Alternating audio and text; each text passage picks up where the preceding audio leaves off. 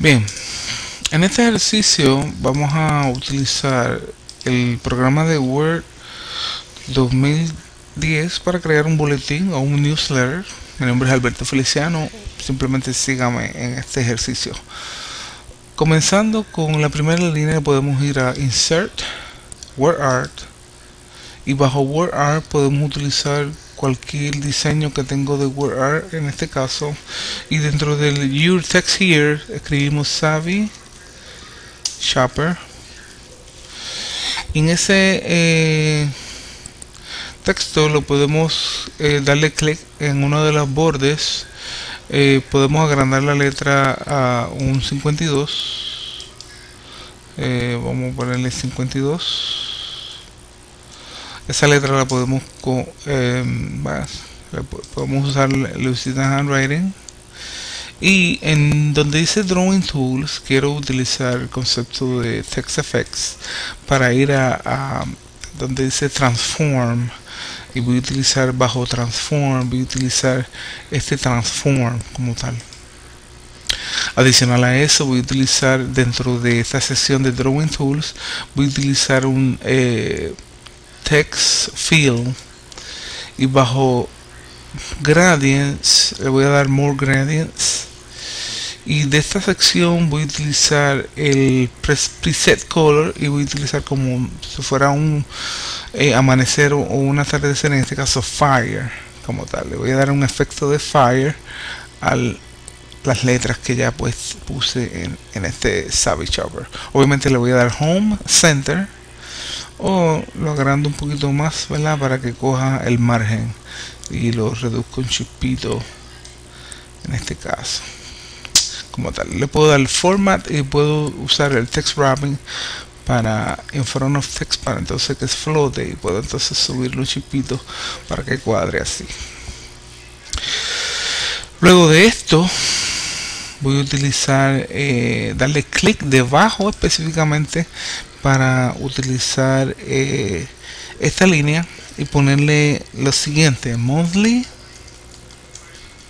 monthly newsletter. Y obviamente en monthly newsletter le voy a dar a paragraph para usar los tabs. Voy a configurar los tabs.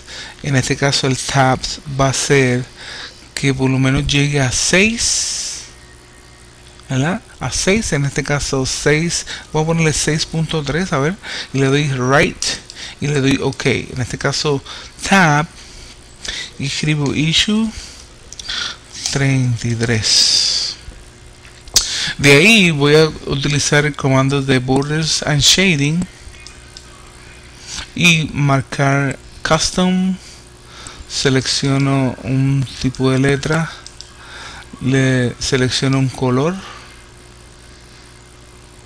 un color selecciono un grosor de color y le doy aquí para hacerlo debajo de esa línea de texto que escribí le doy ok. Ok. Entonces le voy a dar clic debajo de esa línea para continuar. Un poquito más debajo entonces utilizando el menú de insert picture voy a eh, ir a donde dice documents. Y en documents voy a usar el cash register insert. Obviamente ese cash register lo voy a hacer in front of text.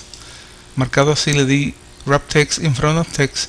Lo reduzco un poco con los bordes de control lo pongo más o menos en esta posición aquí y le doy una rotación pero obviamente le tengo que dar eh, send backwards. Send to bring to front o send, send to back. Send to back send backwards ¿verdad? para que se vea vamos a ponerlo un poquito más grande ahí. Y lo mismo repetimos con insert picture. Picture y marco um, documents shopping cart y la misma parte. Eh, wrap text in front of text lo reduzco un poco la pongo detrás de las P obviamente un poquito más pequeño más o menos ahí. Le doy send to backwards y lo roto, lo roto un chispito así. Ok voy a hacer una pausa y continuamos en la próxima. Bueno me queda tiempo y vamos a seguir aquí. Eh, luego de esto podemos continuar en, en lo siguiente. Voy a hacer una pausa